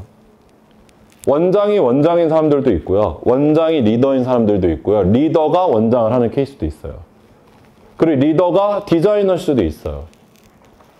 그러면 그런 사람들의 삶을 꾸고 싶다면 결국에는 나는 어떤 핵심 가치로 사람을 움직일 수 있는가 이런 것들에 대해서 고민해 보셔야 돼요. 우리 살롱의 핵심 가치는 무엇인가? 그래서 막스 베버라는 사람이 그렇게 얘기했대요. 아 리더가 되려면 어떻게 해야 되니? 이렇게 물어봤더니 이 세 가지를 얘기했대요. 첫 번째는 문화와 전통을 배우려고 하는 마음이 중요하다. 문화와 전통. 자, 디자이너 선생님들, 아, 네. 네. 소심하게, 소심하게 드셨네요. 네. 자, 생각해 보세요. 문화와 전통 왜 배워야 될까요? 제가 아까 시작하기 전에 얘기했죠. 사람은 다 똑같다, 다르다? 자, 저희 원장님들, 자, 리더의 조건은 그런 게 또 있어요. 제가 이거 철학적으로 하나 얘기해 드릴게요. 인간으로서 동등한 위치에 서고 싶잖아요? 그럼 뭘 해야 되는 줄 아세요? 의사 표현을 해야 돼요. 지위, 권력, 그런 것들이 인간으로서의 가치를 결정하는 게 아니라 내가 이 사람과 동등하게 나의 의사를 표현할 수 있는가 없는가. 이거 되게 중요하거든요. 그럼 디자이너 선생님들, 어우, 고마워요. 내 살롱에서 원장님한테 내가 꿈꾸는 나의 목표와 나의, 나의, 나란 어떤 사람인지 얘기할 수 없다? 그럼 동등한 인간 아닌 거예요. 동등한 인간이면 아니면 어때요? 성장을 못해요. 원장님들 직원들한테 동등한 입장이고 싶으면 나의 생각과 목표를 얘기해야 되고 저도 마찬가지로 여러분들한테 이런 얘기를 물어봤을 때 우리가 동등한 사람들이라면 본인의 생각과 의사를 전달을 해줘야 동등한 사람이 될 수 있다는 거죠. 자, 그러면 여기에서 한 가지 더 물어볼게요. 자, 제가 교육을 시작하기 전에 모든 사람들은 같다 그랬어요? 다르다 그랬어요? 어, 우리 동등한 사람들이 별로 없는데요? 다시 한번 물어볼게요.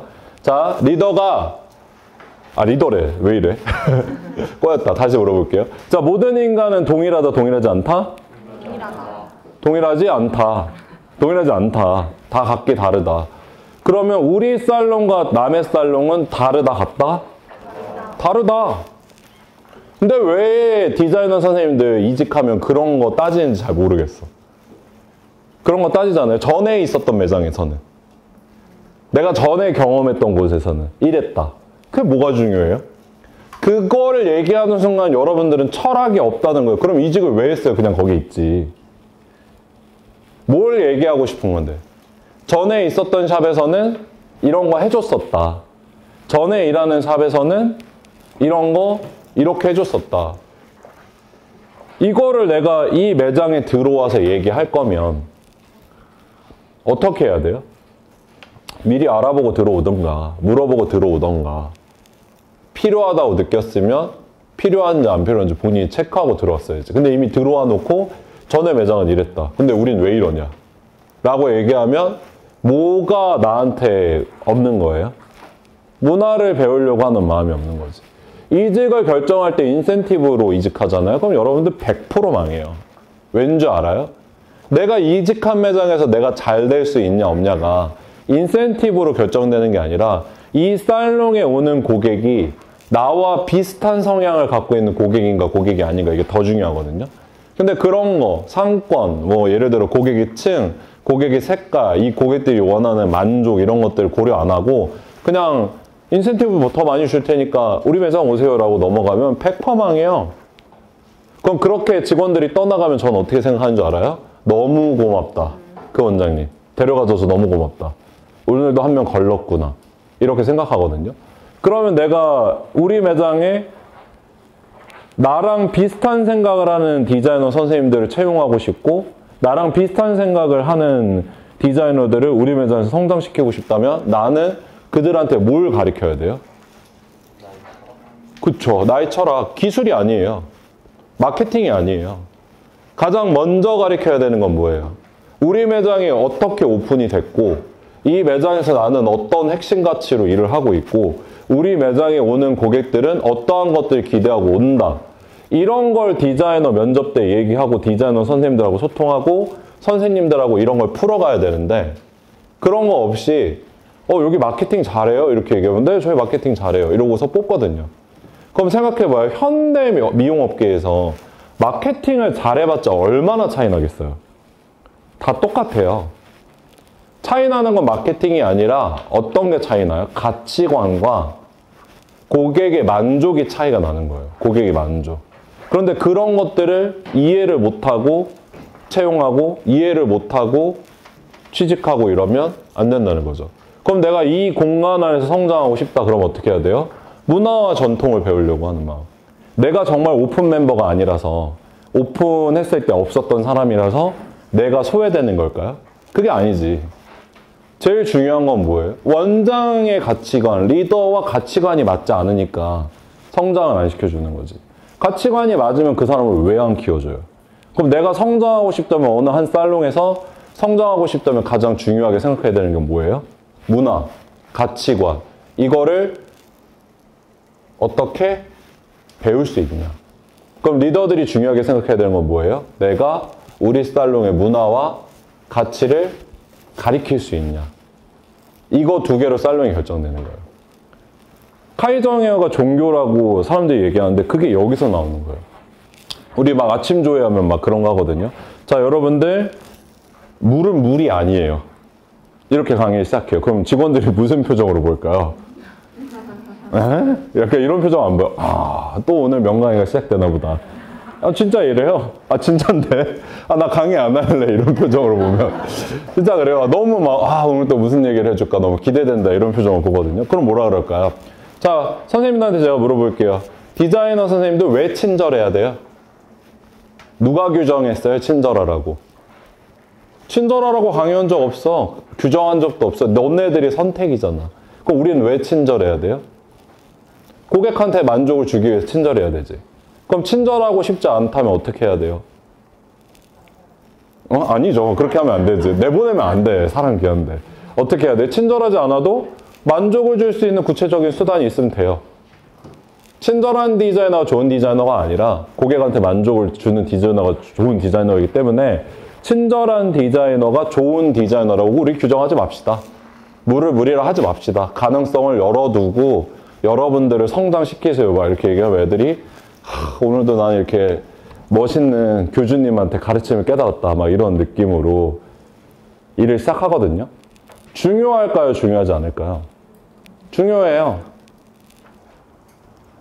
디자이너 선생님들이 막 그러잖아요. 이것도 저희의 또 하나의 문화예요. 10월 달에 다들 힘들었어. 솔직히 10월 달에 안 힘든 살롱은 거의 없었어요. 근데 10월 달에 힘들었었는데 디자이너 선생님들이 와. 그래서 저한테 와서 아, 원장님 진짜 어떡해요. 저 매출 망했어요, 진짜. 아, 어떡해요. 막 이래요. 그러면 어떤 오너들은 아, 괜찮아, 괜찮아. 11월 달에 잘 될 거야. 내가 맛있는 햄버거 사줄게. 버거킹 가자. 햄버거 먹으면서 뭐라 그래? 우리 잘해보자. 이런 성장이 일어날까 일어나지 않을까요? 안 일어나요. 원장님들의 문화와 철학이 그거라는 거예요. 짜증내고 화내고 목표 달성 못하고 무너졌을 때 밥 한 끼 사주면서 이겨보자고 하는 가치. 내가 정한 거예요. 다른 사람이 강요한 적 없잖아요. 그렇게 하라고. 근데 어떤 살론들은 그렇게 얘기해요. 선생님, 디자이너면 그렇게 얘기하면 돼, 안 돼? 디자이너답게 얘기하세요. 아, 제가, 온, 아, 예, 죄송합니다. 오늘 제가 이번 달, 10월 달에 새로 프로모션을 했는데 이게 이만큼 팔리고 이게 이만큼 팔랐는데 기존에 팔리던 프로모션이 30% 정도 떨어져서 매출 떨어진 것 같습니다. 어떻게 해야 될까요? 그럼 선생님 원인이 뭐라고 생각하세요? 어떻게 해결할 수 있을 것 같아요? 이렇게 물어보면 카이정웨어에서 일하는 디자이너 선생님들이 이렇게 얘기해요. 그러면 이 프로모션이 이 상권에서 인기가 없어졌다고 생각하고 새로운 프로모션을 만들겠습니다. 그럼 그렇게 하세요. 이렇게 얘기하면 목표를 설정해 준 걸까요? 목표를 못 설정해 준 걸까요? 목표를 설정해 준 거죠. 이런 게 다 문화인 거예요. 문화. 문화. 원장이 인스타그램을 잘하고 원장이 포르쉐 람보르기니 끌고 다닌다고 그 매장 가잖아요. 그럼 나도 돈 많이 벌 수 있을 거라고 누가 그랬는데요? 아무도 그런 말 한 적 없어요. 그냥 내가 착각한 거잖아. 근데 막상 가놓고 아 이 원장님 SNS 잘하고 돈 많이 버는데 난 배울 게 하나도 없네. 이랬으면 원장님 잘못이에요, 내 잘못이에요? 내 잘못이에요, 이건.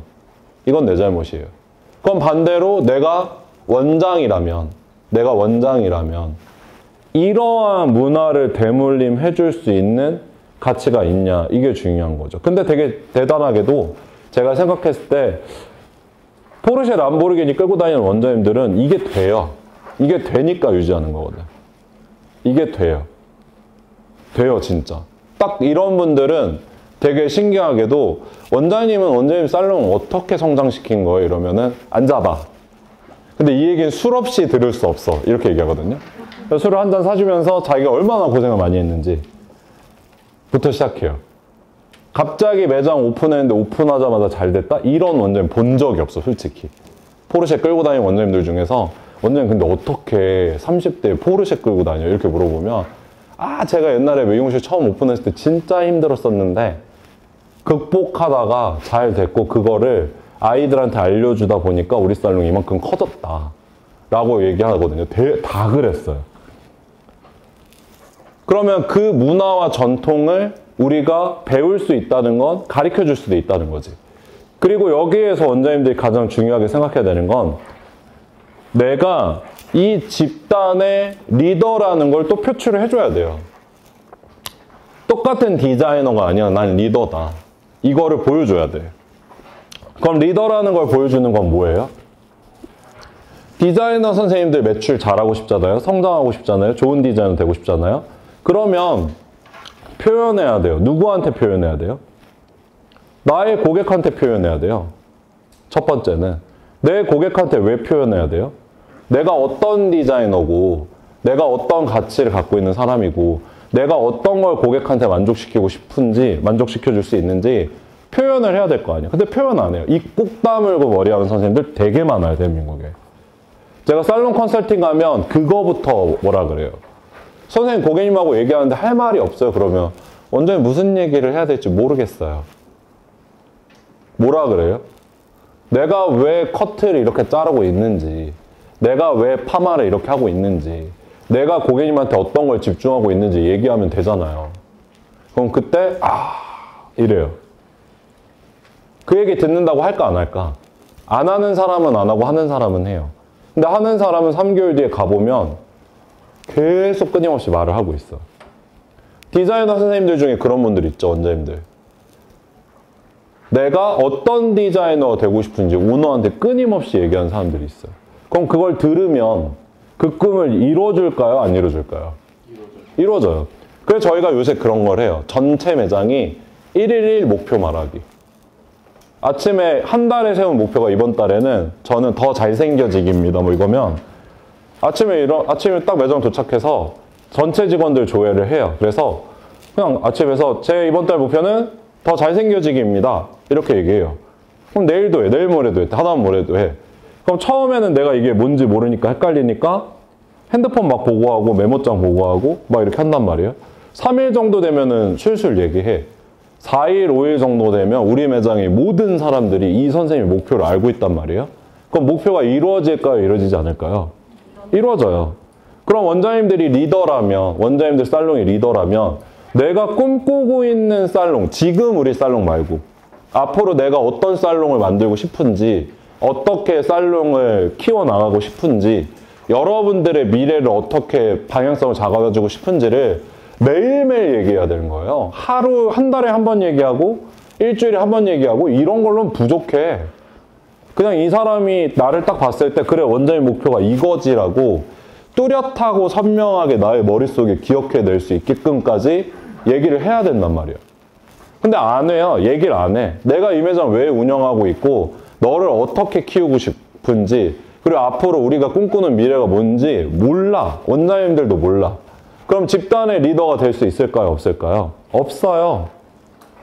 그래서 이런 철학이 되게 중요한 거예요. 결국에는 내가 2천만 원 벌고 싶다, 3천만 원 벌고 싶다, 매장에 2억 매출 달성하고 싶다, 이거는 꿈이 될 수 없어. 꿈이 될 수 없어요. 숫자는 꿈이 될 수 없어요. 숫자는 꿈이 될 수 없어. 왜일까요? 왜일까? 내가 3천만 원 달성하는 게 인간으로서의 나의 목표일까? 아니란 말이에요.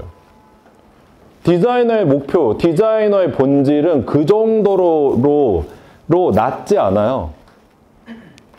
디자이너의 목표는 굉장히 아름답고 멋진 목표가 많아. 모든 사람들한테 사랑받는 디자이너 되겠다. 이거 진짜 위대한 목표인 거예요. 이거 달성하려면 얼마나 어려운데. 정말 노력 많이 해야 되는 거예요. 그러면 막 숫자로 달성, 디자이너 선생님들 막 그러잖아요. 숫자로 달성하는 목표 얘기하잖아요. 너 이번 달 목표 뭐야? 저 1500이야. 그게 어떻게 그 디자이너의 목표가 될 수 있겠냐고. 말도 안 되지. 어떤 목표가 돼야 돼요? 모든 사람들한테 만족을 줄 수 있는 어른이 되겠다. 이런 건 목표가 될 수 있죠. 그럼 거기에 대한 구체적인 방안으로 뭐 책을 읽기, 뭐 고객의 만족도가 무엇인지 체크하기 이런 건 될 수 있겠지. 그러면 내가 표현하는 건 뭐냐면 목표여야 되는 거예요. 목표. 목표. 잡았나요, 원장님? 아, 잡았으면 좋았을 텐데. 아쉽네요. 목표여야 되는 거예요. 그러면 여러분들 생각을 해보세요. 반대로 목표가 아닌 것들을 얘기하면 어떻게 될까? 아, 이번 달에 장사 너무 안 됐어. 매출이 너무 낮았어. 매출이 너무 낮으면 매장이 망한 거예요? 아니잖아. 고객 만족이 일어나지 않으면 망한 거죠. 고객이 쌓이지 않는다는 거니까. 인간적 성장. 그러면 인간적 성장이 뭐냐? 인품과 품성을 갖춘 어른이 되는 거. 그러면 어른이 얘기했을 때 인사를 안 하는 게 맞냐? 라고 물어봤어요. 그때 디자이너 선생님들 뭐라 그랬을까요? 죄송하다. 잘못했다. 라고 얘기했는데 제가 그렇게 얘기했어요. 이게 왜 문제냐면 니네들이 그런 모습을 보이고서 매장을 운영하면 인턴 애들이 똑같이 배운다? 이렇게 얘기를 한 거거든요. 그럼 너네들이 얘기했을 때 이 매장 애들이 왜 대답을 안 하는지 알겠지? 라고 얘기를 한 거예요. 그러면 이런 것들을 표출하는 역할이 제가 왜 하는 거예요? 왜 하는 거예요? 내가 이 집단의 리더니까. 아, 이거 뭐 귀찮으니까 넘어가야지. 이런 매장 망해요. 왜냐면 그것조차 되지 않는 매장에 고객 만족이 일어나겠어요? 그렇지 않다는 거지. 그러면 제가 지금 얘기해 드린 건 뭐냐면 실현. 원칙은 반드시 지켜야 된다는 걸 실현하시지 않으면 문화는 생기지 않아요. 근데 아 이거 조금 아쉬운데 쟤는 왜 고객님한테 인사를 안 하지? 조금 아쉬운데 핵심 가치가 아니라면 상관이 없어요. 근데 핵심 가치면 반드시 지켜야 되고 반드시 지켜주는 리더가 있어야 된다는 거죠. 그러면 여러분들이 기억하셔야 되는 건 리더는 타고나는 게 아니라 노력에 의해서 만들어진다는 거예요. 내가 리더로서 매장에 지켜줘야 되는 건 매장에 염색약이 남았다. 펌제가 버려진다. 청소가 안 돼 있다. 관리가 안 돼 있다. 이게 아니에요. 이걸 왜 리더들이 관리해요? 이건 누가 관리해야 돼요? 사용하는 사람들이 관리해야지. 사용하는 사람들이. 우리가 관리해야 되는 건 뭐예요? 리더들이 관리해야 되는 건? 사상과 마인드. 사상과. 내가 카이정웨어에 들어와 있는 디자이너로서 가장 디자이너인데, 내가 디자이너인데, 내가 카이정에서 일을 할 때, 내가 이 매장에서 일하는 순간 성장을 하고 싶고 잘 되고 싶다면, 이 매장에서 생각하는 핵심 가치를 누구보다 잘 지켜야 성장이 일어나는 거예요. 누구보다 잘 지켜야. 근데 내가 하고 싶은 대로 하고 싶다? 내가 이 문화를 깨고 싶다 이러면 그 안에서 절대 성장 못 해요. 왜냐면 우리는 단순하게 나라는 사람으로 살고 있지 않는 거거든요. 제가 이 얘기는 이제 철학 파트에서 두 번째로 중요한 부분이라 여러분들한테 한번 디테일하게 설명해 드려 볼게요. 자, 나와 사회적인 나는 같을까요? 같지 않을까요? 어떻게 다를까요? 자, 지금 막 이렇게 보면서 제가 아, 나 화장실 진짜 가고 싶다. 이렇게 생각을 해요. 근데 봤을 때 화장실 가고 싶어요? 안, 안 가고 싶은 것 같아요? 안 가고 싶은 것 같아요? 안 가고 싶은 것 같죠? 뻥이에요. 안 가고 싶어요. 이게 나예요. 나. 아, 나 지금 쉬고 싶다. 아, 나 지금 안 하고 싶다. 아, 나 지금 집에 가서 게임하고 싶다. 아, 나 지금 집에 가서 곱창 먹고 싶은데. 왜 이렇게 강의해야 되지? 라고 생각을 해요. 근데 왜 강의해요, 그러면? 나는 이미 이 자리에 서는 순간 내가 아니니까. 개인이 아니니까. 개인의 나는 욕구로 움직이는 사람이 개인이 나예요, 욕구. 자고 싶다, 쉬고 싶다, 먹고 싶다. 무언가를 하고 싶다. 사회적인 나는 뭘로 움직여요? 역할로 움직여요, 역할.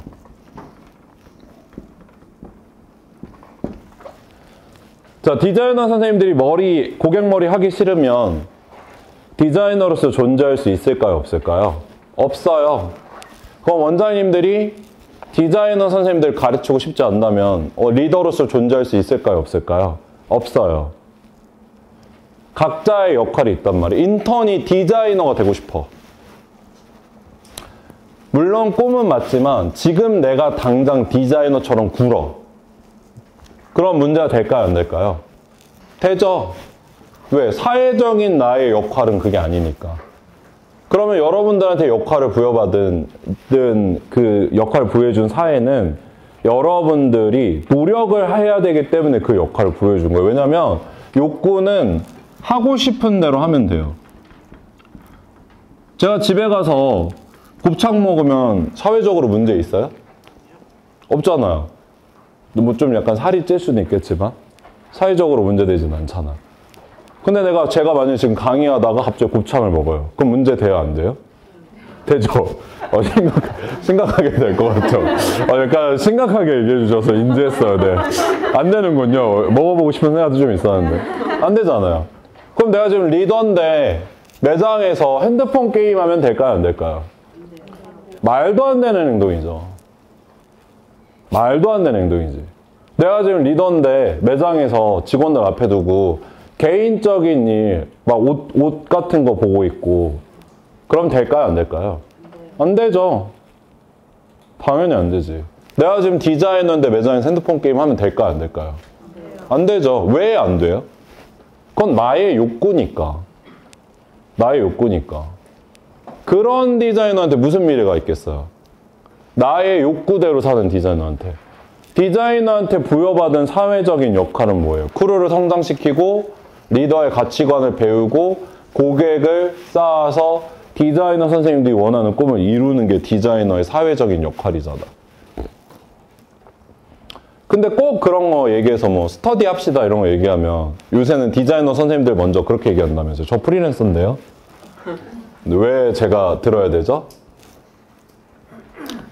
어른부터 되고 와야 돼 이런 얘기 할 거면 어른부터 매장에 교육해서 쿠로랑 같이 예를 들어 뭐 밀봉 컬러 교육을 듣는다고 치자 그럼 난 이미 밀봉 컬러 교육을 들었어 또 들으면 안 된다고 누가 얘기했는데요 아 또 하나 왔다 잠깐만 아 너무 짜증나요 이런 얘기 들으면 이걸 설명해 주는 것도 힘든데 설명해 줘요, 저는. 다 가르쳐 줘요. 선생님 잠깐만 앉아봐요. 이러면 아, 내가 또 뭐 이상한 얘기 했구나.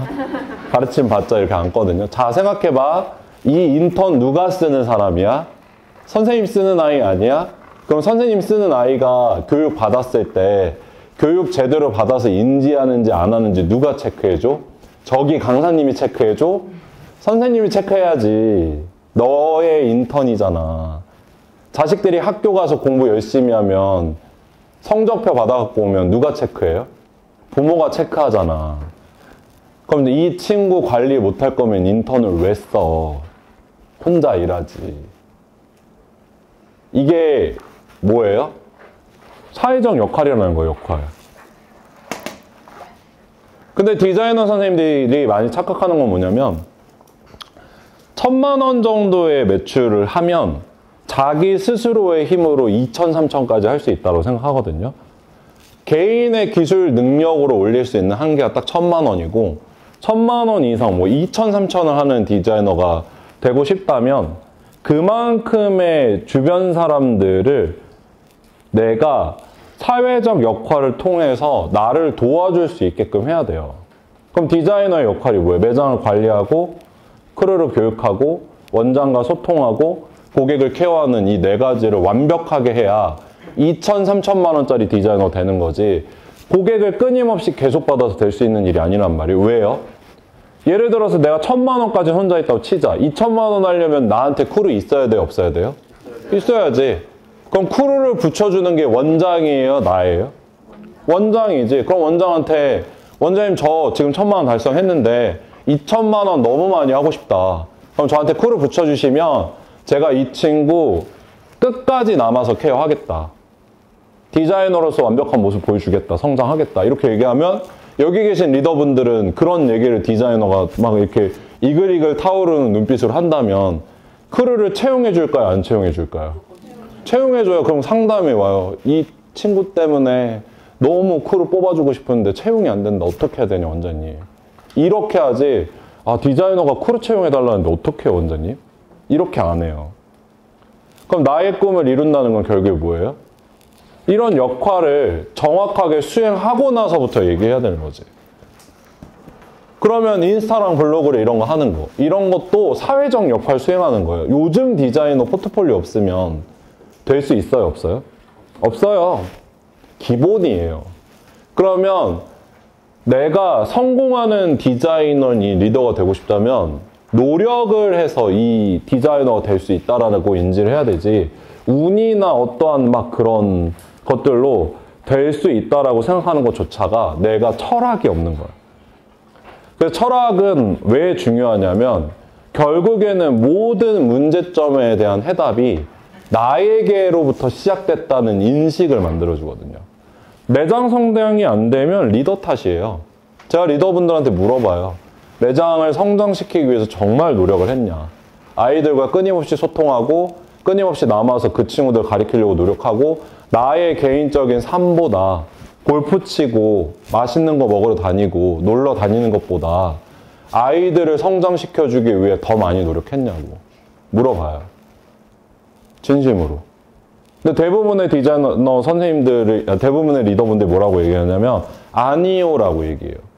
그럼 그거 해결하고 싶으면 어떻게 해야 돼요? 내가 노력해야지 디자이너가 노력해서 될 수 있는 부분이 아니라는 거지. 반대로.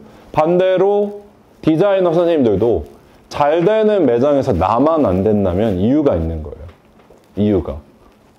이유가 있는 거예요. 내가 디자이너로서 역할을 제대로 못하기 때문에 안 된다라는 걸 인식해야 되는데 매장 탓, 고객 탓, 단가 탓 이런 거를 하면 결국에는 문제를 해결할 수 있는 방향성으로 안 되기 때문에 철학이 없다고 얘기하는 거죠. 그래서 철학이란 무엇이냐면 나란 존재에 대한 해답이 되는 거예요. 자, 리더분들한테 물어볼게요. 왜 매장 오픈했어요? 왜 매장 오픈했어요? 네. 돈 많이 벌고 싶어서. 맞죠? 해다. 근데 지금은요? 지금은 저희 선생님들 좀 돈도 많이 벌게 해주고 매장도 많이 오픈해주고 싶어요. 그거 누구 꿈이에요? 그쵸. 원장님, 감사합니다. 네. 감사합니다. 맞아요. 이게 정확한 거죠. 내 꿈이다. 이건 내 꿈이다. 처음엔 돈 많이 벌고 싶어서 오픈했는데 오픈해서 직원들 들어오다 보니까 재밌고 매장 성장시키고 싶고 그래서 계속 하고 싶다. 내 꿈이다. 내가 제일 노력해야 된다. 라는 거지. 너가 잘못하고 있는 게 아니라 내, 내가 잘하면 된다. 디자이너 선생님도 마찬가지로 이직했을 때 왜 이직했어요? 이 매장에서 성공하고 싶어서. 그러면 이 매장에서 성공하고 싶다면 문화를 배우고 내가 성공하고 싶다는 표현을 하고 실제로 노력을 해서 성공을 할 때까지 끊임없이 밀어붙여야 되는데 매장에서 왜 신규 안 줘요? 매장에 입점되는 고객이 없어요. 객단가가 낮아요. 손님 질이 별로예요. 이런 거 따지면 결국에 누구 탓이에요? 내 탓. 그래서 철학이 필요한 거예요. 그럼 우리가 왜 철학이 있어야 되는지 알겠죠? 철학이 가장 필요한 이유, 마지막으로 정리를 해드리자면 상황에 대한 통찰력. 아까 통찰력 뭐라 그랬어요? 미래를 보는 거. 자, 원장님들 아마 알고 있을 거예요. 이렇게 하면 매장 망한다. 아마 이미 감이 올 거야. 장사가 안 되는데 그냥 진짜 이번 달에 뭔가 이슈가 있어서 장사가 안 되는 건지 아니면 정말 우리가 문제가 있는 건지 원장님들은 분명히 안다. 나는 그렇게 생각해요. 원장님들은 분명히 안다. 디자이너들이 그만뒀으면 왜 그만뒀는지 원장님들은 안다. 그러면 그만두는 과정에 왔을 때 이미 그만두기 전에 이 친구 그만둘 거라는 걸 알고 있었을까요? 몰랐을까요? 이미 다 대부분 알고 있어요. 이 친구 그만둘 것 같다. 근데 기대를 해, 자꾸. 그만두지 않지 않을까? 나, 이, 뭐, 뭔가 약간 내가 얘기해서 막 밥을 사주고, 한번 안아주고, 막 이렇게 잘생긴 내 얼굴 보여주면서 이렇게 같이 막 뭔가 하다 보면, 노력을 하다 보면 나가지 않지 않을까? 이렇게 생각을 하는데, 나갈까요? 안 나갈까요? 나가요. 왜 나가요? 그 친구가 원하는 본질. 본질이 없으니까 나가는 거야. 매장이 6개 지금 하고 있는데 내년 3월 안에만 저희가 지금 7호점, 8호점은 이미 확정이 돼서 거기가 이제 임대 끝나서 나가면 거기에 바로 오픈을 할 거고 어딘지 궁금하시면 나중에 알려드릴게요. 7호점, 8호점을 오픈을 할 거고 7호점은 홍대 쪽에 하고 8호점은 목동 쪽이에요, 저희가. 그래서 이미 계약이 다 끝났고 그리고 나머지 매장들도 계약 오픈을 하려고 보고 있단 말이에요. 그러면 이제 시스템은 우리가 알잖아. 그러면 2단계로 넘어가고 싶으면 이 다음부터 뭐가 필요할까요? 가치관이 필요한 거예요. 이걸 유지시키기 위한 힘. 동기부여. 이거 하려면 인원이 60명이 더 늘어나야 되는데 60명이 늘어났을 때 인원 유지가 돼야 돼요? 안 돼야 돼요? 돼야 돼요. 근데 디자이너를 묶어놓는 게 사람 돈이에요? 가치관이에요? 가치관이라는 거죠. 그럼 지금부터는 저희가 모든 직원들, 지금 카이정에서 일하는 모든 직원한테 우리의 가치관과 우리의 핵심 가치, 그리고 우리가 목표로 하는 게 무엇인지를 가리키지 않으면 매장이 풍비박산돼서 날아갈 거예요. 이미 그래요. 이미. 제가 9월 달에만 직원들 20명을 정리했거든요. 원래 저희가 100명이 넘었다가 80명까지 줄어들었어요. 왜 20명 정리했을까요? 가치관이 안 맞아서. 자꾸 돈 벌려고 해요. 저는 매장에서 중요하게 생각하는 게 뭐냐면 고객을 만족시키고 고객이 만족하면 돈은 따라온다. 근데 자꾸 우리 매장에 들어와서 저희 매장 선불권이 없거든요. 선불권이 없어요. 저희는 무조건 실매출만 하는데 그 이유가 첫 번째는 고객 만족을 일으키기 위해서는 선불권을 팔려고 하는 것보다는 스타일을 파는 게 맞다라고 생각해서 저희는 선불권을 안 해요. 그리고 두 번째는 고객이 큰 금액을 결제해서 할인받는 건 제가 생각했을 때는 조금 불합리하다. 그러니까 돈을 많이 낸 사람들을 할인해 주는 건 현대에 있는 MZ 세대 소비자의 중심에서 봤을 때는 이게 좀 불합리하지 않나? 왜냐면 돈이 많아야 할인을 많이 받을 수 있다는 거니까 불합리하잖아요. 그래서 안 하는 거예요. 그러면 그런 부분들에 대해서 이게 우리의 가치관인데 이게 우리가 유지하는 게 굉장히 중요한데 저한테 막 선불권이 없어서 매출하기 힘들다. 선불권을 만들어줬으면 좋겠다. 이런 얘기 하면 어떻게 돼요? 가리키죠, 맨 처음에. 왜 없는지. 이게 왜 우리의 핵심 가치인지. 근데 그걸 수용을 못 해. 그럼 어떻게 될까요? 나가야지. 나가야 되는 거예요. 근데 많이 생각해봐요. 그, 그 사람들이 만약 선불권 만들어달라고 얘기해서 뭐 우리 매장에 첫 방문 할인 왜 없냐? 만들어달라 이렇게 얘기해서 우리가 만들어줬어. 만들어줬어. 근데 만들어줬는데 나가면 어떻게 돼요? 그럼 진짜 매장 큰일 나는 거예요. 그동안 우리 고객이 만족했던 기준조차도 사라져 버리는 거야. 그러니까 디자이너가 이 매장에서 성공을 했을 때는 철저하게 우리 방법으로 성공하는 게 진짜 중요한 거죠. 우리가 잘하는 걸로. 그거를 만들어주는 게 되게 중요하거든요. 그러면 이게 판단이라는 거예요, 판단. 그래서 저희는 지금 하는 모든 교육, 제 거 오늘 스토리 보셨을지 모르겠지만, 저희 아이들이 오늘 제 스토리에서 올렸던 글자 중에, 그 문구 중에 기억나는 거 있으세요? 설혜 원장님 기억나지 않으세요? 뭐 있어요? 응? 애들이 갑자기 막 뭘 정리해서 막 올렸거든요. 그쵸. 아, 이번엔 정말 사랑합니다, 원장님. 고마워요. 인사. 오픈한 지 3년 된 매장이 아직까지도 인사를 가리켜요. 제가 이번, 이번 주 미션 준 게 그거예요. 인사란 무엇인가 정리해서 보내라. 디자이너 선생님들 정리해서 보내라. 보라는 게 아니라 정리해서 보내라. 오픈한 지 3년 된 매장. 디자이너들이 성장한 매장, 매출을 하고 있는 매장인데 아직까지도 인사를 갖고 따지고 있어요. 왜일까요? 핵심 가치니까. 마케팅을 배운다고 성공할까? 머리를 배운다고 성공할까? 아니요, 저는 그렇게 보지 않아요.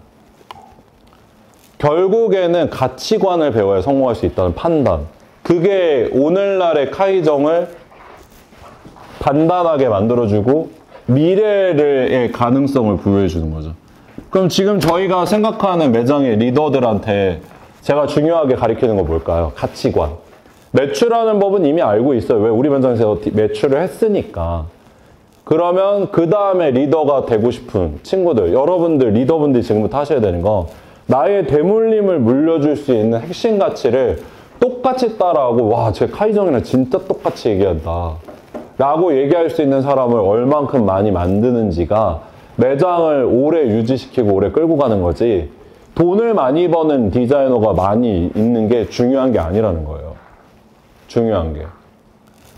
그러면 이런 부분들에 대해서 우리가 고민을 했을 때, 고민을 했을 때, 사회적인 나로서 리더로서의 역할은 나, 내가 잘 먹고 잘 사는 거예요? 우리가 잘 먹고 잘 사는 거예요? 우리가 잘 먹고 잘 사는 거예요. 그러면 이 부분에 있어서 디자이너들이 편하게 일할 수 있는 매장이 좋은 매장이다? 전 솔직히 이거 공, 공감도 안 될 뿐더러 잘못된 방법이라고 명확하게 말씀드릴 수 있어요. 디자이너가 노력하는 매장이 잘 되는 매장이지 오너가 노력하는 매장이 잘 되는 매장이지 디자이너가 편하게 일하는 매장을 만들어주고 싶다? 리더분들 이렇게 생각하는 거 잘못된 거예요. 원장님들의 인생이 쉬워요, 편해. 왜 이 자리에 이 시간에 왜 와서 서울까지 와서 왜 강의 들어요? 성장해야 되니까 노력하고 있는 거잖아. 우리랑 똑같은 삶을 살아야 된다고 그들한테 알려줘야 되는데 원장 되면 편하게 살 수 있다? 원장 되면 남들이 돈을 벌어준다? 에이, 아닌 거 알잖아요. 원장 되면 우리가 메꿔줘야 돼요. 매출. 진짜 죽을 뻔했어요. 2억 6천만 원 갚는 거. 진짜. 제가 이렇게 건강하고 아름다워 보이지만, 내가 지금 진짜 코 속에 검은 색깔 코털이 하나도 없어요. 다 쉬었어. 다 쉬었어요. 머리에 흰머리가 진짜 많고, 막 안면마비 오고, 막 이렇게 약간 신체가 막 이상해. 너무 올해 진짜 하루 딱 쉬고 추석날 딱 하루 쉬고 스트레이트 full로 일했단 말이에요. 근데 우리 아이들이 그거 보면서 와 원장님 진짜 열심히 산다. 근데 그들은 다 5일 근무하고 다 쉰단 말이야. 근데 본인도 원장이 되고 싶대. 그러면 뭐라고 물어봐야 돼요? 나처럼 살 자신 있어? 그게 너의 꿈이야? 이렇게 물어봐서 네 그러면 가는 건데 선택을 또 잘못하면 어떻게 돼요? 큰일 나는 거지. 그래서 리더는 굉장히 판단력이 좋아야 돼요. 제가 이거를 키울 놈을 키우는 게 되게 중요하다고 얘기를 하는 거거든요. 키울 놈. 디자이너 선생님들도 생각하세요. 꿈이 있다면 이루고 싶은 목표가 있고 나의 리더처럼 돈을 벌고 싶고 나의 리더처럼 살고 싶고 나의 리더처럼 나의 삶을 성장시키는 게 꿈이잖아요. 그럼 리더보다 더 열심히 살아야 돼 디자이너들은. 리더는 그 자리에 올랐을 때게 그냥 올랐냐고 엄청나게 힘든 고통과 인내를 하면서 특히 개인 살롱 원장님들 개인 살롱 오픈해서 브랜드 성장시키는 거 진짜 쉽지 않아요. 그나마 브랜드는 틀이라도 있지. 이가저 박승철 이런 거는 그 틀 때문에 오픈하는 거잖아요. 근데 개인 살롱은 진짜 쉽지 않아요. 근데 그 리더와 내가 같은 삶을 사는 걸 꿈꾼다면 적어도 나는 두 배 정도 노력하고 같은 삶을 꿈꾸는 걸 보고 내 리더보다 두 배 열심히 살았을 때 그게 2년, 3년 돼야 그 삶을 이루는 건데 우리 리더한테 그냥 그거 받고 싶다? 이렇게 생각하면 누가 주냐고. 누가? 나보다 열심히 사는 사람한테 줘야지. 저는 그래서 솔직히 말하면 늘 그게 걱정이에요. 내가 이렇게 열심히 사는데 리더가 됐을 때 나보다 더 열심히 살아줄 리더가 있을까? 그게 진짜 고민이거든. 근데 그런 사람이 있으면 다 줄 수 있어요, 진짜. 제가 그래서 요새 저희 매장에 들어온 31살짜리 본부장이 있거든요, 남자. 근데 그 친구가 저희 매장에 들어온 지 6개월 됐는데 6개월 동안 하루도 안 쉬고 일을 해요. 매장을 출근을 해요, 하루도 안 쉬고. 급여 못 준다고 이틀 쉬라 그래도 하루도 안 쉬고 일하고 늘 아이들 위해서 강의 준비하고 늘 내가 생각하는 본질이 뭔지 생각한단 말이에요. 딱 6개월 되니까 생각이 들더라고. 아, 회사 얘한테 물려줘야겠다. 그래서 제가 내년에 대표 원장 사임한다 그랬어요. 이 친구 물려주겠다고. 이 친구를 이사로 올려주겠다고. 31살짜리한테. 그렇게 열심히 사는데 회사의 미래가 있어요, 없어요? 그럼 여러분들 디자이너 선생님들이 그 매장에서 원장님이 물려주는 그 업을 이어가고 싶다면 그게 제일 빨리 성공하는 거거든요. 그럼 그만큼 열심히 살아야죠. 그러면 리더들은 그걸 명확하게 해야 된다는 거예요. 노력 안 하면 안 줄 거야. 근데 노력 안 해도 키워주고, 노력 안 해도 지켜주고, 노력 안 해도 월급 주고, 노력 안 해도 기술 알려주면 그걸 아이들이, 다른 아이들이 보고 그걸 학습한다? 문제는. 아, 여기는 대충 해도 원장님이 다 해줘. 그 한 번에 잘못된 이해심이 여러분들의 살롱을 무너뜨리는 거예요. 그래서 리더는 철학이 굉장히 단단하게 있어야 돼요. 그래서 제가 이런 얘기들을 왜 하냐면 결국엔 그거야. 원장님들이 꿈꾸는 원장님들 살롱의 성공과 성장 그거 머리를 더 잘하면 이룰 수 있을 것 같아요? 아니에요. 여기 지금 계신 분들 중에 머리 못 하시는 분이 누가 있는데? 누가 있는데요? 누가 있는데? 아무도 없어요. 다 할 줄 알아요, 머리. 다 잘해요. 거기 제일 이해 안 되는 부류가 두 부류예요, 저는. 솔직히 얘기하면. 막 강남 저 끝에 있는데 청담 미용실 하는 사람들이랑 꼭 고객들이 complain 걸 때 나 원래 청담 미용실 다녔다고. 그럼 뭐, 뭐 청담의 미용실 어디 다니셨는데 이렇게 물어보면 거기 있어요. 이렇게 얘기하면 왜 complain 거는 고객은 꼭 청담 미용실에서 머리 했다고 하는 거지? 이게 약간 궁금하단 말이에요. 궁금해요. 근데 뭐 예를, 예를 들어 이거는 넘어가고 청담이 아니라서 성공을 못한다 이것도 변명이에요. 요새 잘 나가는 디자이너 선생님들, 잘 나가는 브랜드들 다 어디 있는 줄 알아요? 다 변두리에 있어요. 다 변두리에. 왜? 왜일까요?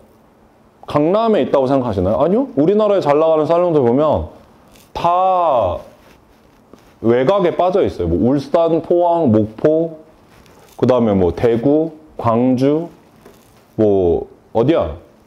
저기 저기 수원, 뭐 여기 저기 평택, 일산 이런 데 다 있어요. 이미 시대가 그만큼 바뀌었다는 거야. 내가 지역에 있기 때문에 성장이 힘들다. 이거는 인스타랑 블로그 없었을 때, 온라인 없었을 때 얘기고 지금은 국가가 밀접하게 연결돼 있기 때문에 이 나라 안에서는 어느 구석에 들어가 있어도 유명한 건 다 할 수 있어요. 그래서 우리 강원도 산골짜기에 있는 커피숍 막 운전해서 찾아가잖아요. 그런 시대인데 무슨 내가 지역의 한계성? 서울이 아니라서 이런 걸 얘기해요. 그러면 우리의 혁신의 과제는 뭐예요? 내 살롱을 그 지역 안에서 최고의 살롱을 만들기 위해서. 그럼 그 최고의 기준은 뭐예요? 돈을 잘 버는 게 아니라 우리가 꿈꾸는, 우리가 목표로 하는 가치관을 고객한테 전파하면서 강력한 팬덤을 만드는 살롱을 만들고 싶기 때문에 그런 거예요. 그게 지역사회 공헌이에요. 그런 거 있잖아요. 제가 얼마 전에 그, 어디지? 그, 하, 그, 어디, 광주를 내려가서 상무지구에서, 여기 광주 분 계세요? 광주에서 오신 분 계세요? 광주에서 오신 분 있잖아요. 저기 광주 사람. 네. 상무지구에 가서 아침에 물어봤어요. 원장님한테. 원장님 여기 뭐 먹어야 돼요? 이렇게 물어봤더니 아, 광주 상무지구에는 콩나물 국밥집이 있는데 거긴 꼭 가서 먹어야 돼. 이렇게 얘기하더라고요. 그리고 예를 들어서 뭐 목포에 이번에 목포에 강의가 있어서 내려갔는데 여기 여기 여기는 오면은 꼭 이 소고기 집을 가야 된다. 소고기 먹었는데 진짜 미친 거예요 맛이. 너무 맛있는 거야. 그래서 제가 그런 걸 보면서 그런 생각을 했어. 서울 사람이 왔을 때 데리고 가고 싶은 거.